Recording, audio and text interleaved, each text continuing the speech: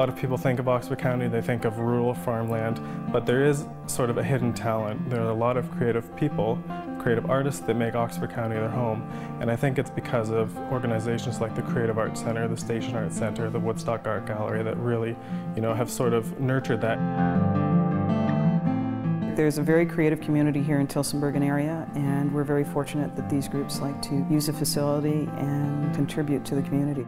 We have the Bridge Street Artists, we have the Station House Potters, we have the Tillsonburg Photography Club, we have the Tillsonburg Videography Club, we have the Tillsonburg and Area Miniature Enthusiast Group. We have a, a full range and gamut as far as medium and art forms. It is always free to come to the Woodstock Art Gallery.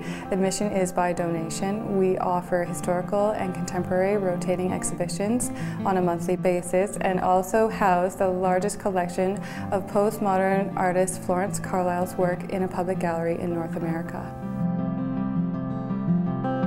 The Creative Arts Center is in its uh, 39th year. We have programs for adults and children. The main areas are quilting, fiber arts, pottery, and uh, painting. Our pottery studio, it's very sophisticated, um, having the kilns to fire pottery and workspace to have wheels and a slab roller. We're really, really fortunate. We want people to come for pleasure. On the other hand, we have uh, members and instructors that have won international awards. My name is Shirley Clifford. I'm a potter. I live in Oxford County and I belong to the Ingersoll Creative Arts Center. My work is very varied. I do a lot of different kinds of things because I like different looks. So my signature work is my raku work. It has an orangey gold luster and they're larger pieces. My name's Shane Nori. I'm a ceramic artist and painter and I live in Ingersoll. My work uh, in terms of ceramic is very organic and very textural, the same with my paintings. With the ceramic, what I try to do is have pieces that appear as though they've been unearthed or have a sense of history to them. I am inspired by Oxford County landscapes. It's funny, in a lot of my paintings, I sort of, I'll drive around, take photos of trees, buildings, farmland, just scenery that's local, and incorporate them into my work.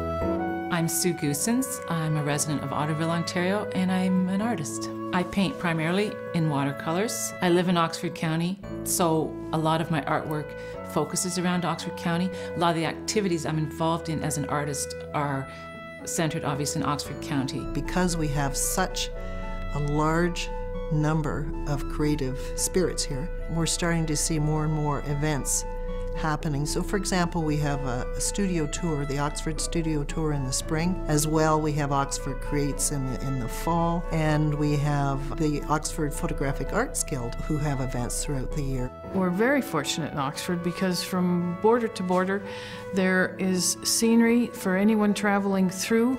There are spaces for everybody, whether you're a photographer or an oil painter or watercolors. There is artists of all kinds. Another uh, new venture that's going to be starting in the spring, the Elmhurst Inn will be having Art in the Park on the front lawn on Sundays, affiliated with their very, very successful brunch. In the fall of 2011, a long-term dream for a number of people in this community of Woodstock and Oxford County is coming true. The Woodstock Art Gallery will be moving to a $5.5 million state-of-the-art facility, and it will be the best thing for all of us as far as the arts and culture is concerned because that grant was all about believing in what we're doing here. It's unexpected to come here and find that many professional, high-end artists with wonderful work and a variety. I mean, we've got the pottery, the quilting, the glasswork, the paintings, wonderful jewelry. So I think people are quite surprised when they come on the tour.